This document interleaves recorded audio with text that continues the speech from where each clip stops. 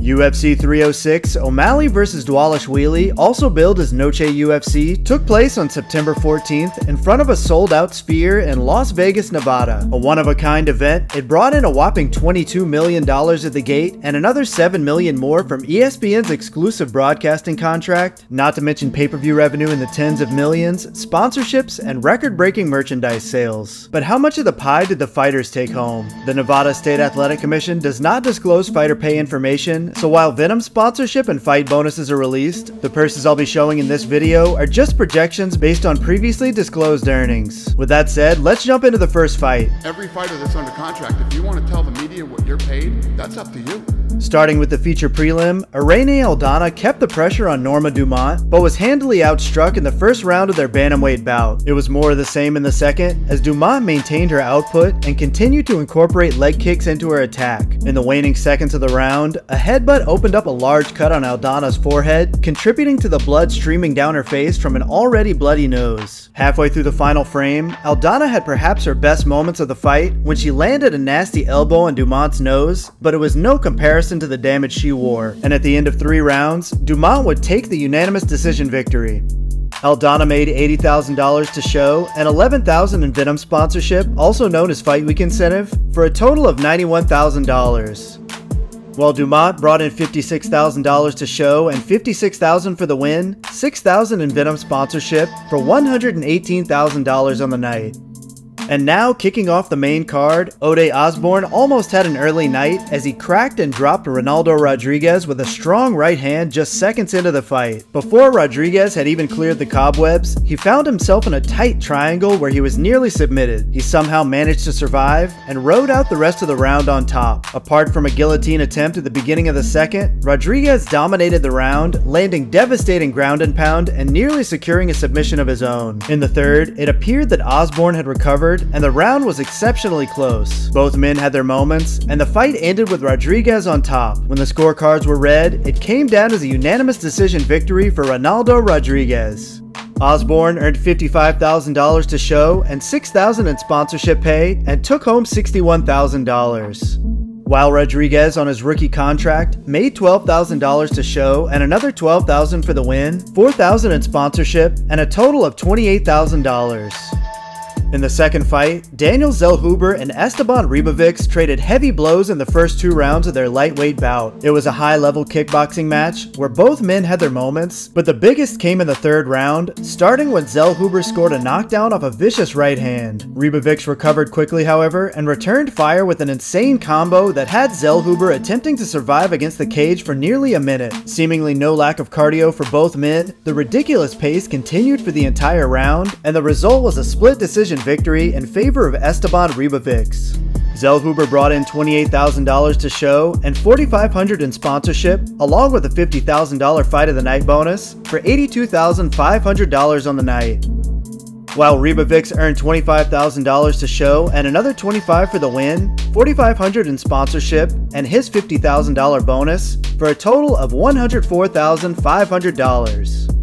An insane first round kicked off the third fight as Diego Lopes stunned Brian Ortega with a well-timed right hand left hook combo within the first minute. Ortega appeared to be in real trouble as Lopes pursued his injured opponent, peppering him with shots as he pulled him to the ground. Somehow Ortega was able to survive, partly due to the threat of his elite level jiu-jitsu. In the second, Lopes continued to look sharper on the feet, but did appear to slow down a bit as the round went on. In the final round, Ortega's boxing looked much improved as his strikes started to hit their intended target, but it was Lopes who capped off the round with a left that again dropped T-City, delivering Lopes all three rounds on every judge's scorecard for the unanimous decision win. Ortega earned $140,000 to show and $11,000 in sponsorship pay for a total of $151,000 and the winner Diego Lopes made $56,000 to show and another $56,000 for the win, $6,000 in Venom sponsorship, and a total of $118,000.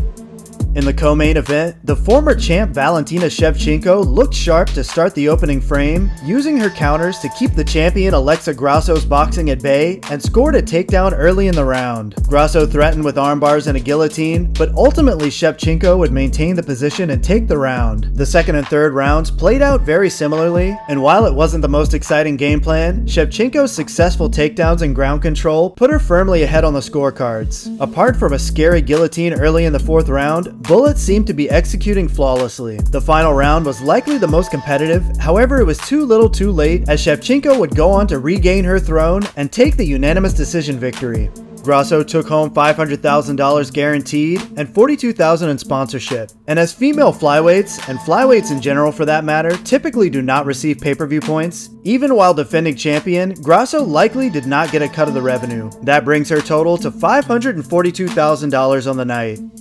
While I'm estimating Shevchenko as a longtime former champion earned a champion's guaranteed 500k and 32,000 in sponsorship, putting her total at $532,000. If you're enjoying the content and want to keep up with all the latest videos, take a moment to hit that like button and subscribe to the channel if you're not already. Only about 7% of the people watching this video are subscribers, but you can change that and help to grow the channel in the process. And finally, Merab Dvalishvili overthrew the reigning bantamweight champion Sugar Sean O'Malley. In the opening rounds, Merab did a good job of staying outside O'Malley's striking range before timing his takedowns perfectly, allowing him to rack up ground control and threaten submissions. O'Malley appeared to have dialed in his timing a bit in the third round and landed a few sharp right hands and a knee towards the end of the round. But whatever momentum Sean gained quickly dissipated in the fourth as Dvalishvili controlled him on the ground for the majority of the round while delivering serious damage. Likely down four rounds going into the fifth, O'Malley found some success with kicks up the middle and managed to hurt Merab in the final minutes. But Dvalishvili survived the attack with one final takedown before the closing bell. Prior to the fight, Dvalishvili talked about his journey to this championship bout. Um, uh, after 2020, a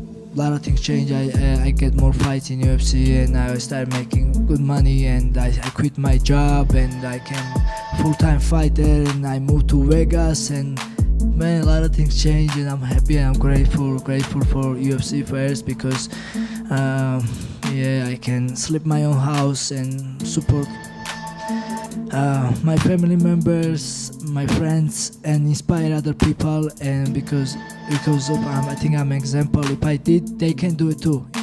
As for the now former champ Sugar Sean O'Malley, while his disclosed pay at UFC 292 was listed at 500,000, I've updated my estimates to account for the fact that most of the top echelon fighters, in terms of popularity, are making significantly more than their disclosed figures. For example, Israel Adesanya's last disclosed purse at UFC 263 was also listed at 500,000. However, best reporting suggests he makes 4 to 5 million dollars guaranteed, not including pay-per-view. So as a conservative figure, at estimate that O'Malley made at least $1 million guaranteed, along with 42,000 in sponsorship pay. And while we can only speculate on the pay-per-view, I use a formula based on Eddie Alvarez and other fighters' publicly released pay structures from 2013 to 2016, and update it to account for new benchmarks and pay-per-view price increases to create a ballpark estimate. If we use 600,000 buys, O'Malley's cut falls somewhere in the neighborhood of 1.35 to 1.65 million, bringing his grand total to around 2.5 million dollars